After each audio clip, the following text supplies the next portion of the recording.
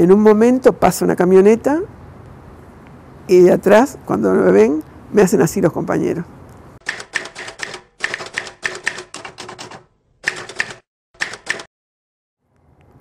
Yo sé que me tomo un ómnibus hacia Montevideo y en el ómnibus, para lo contrario, hacia, Pando, venían las chanchitas con las metras para afuera, los milicos.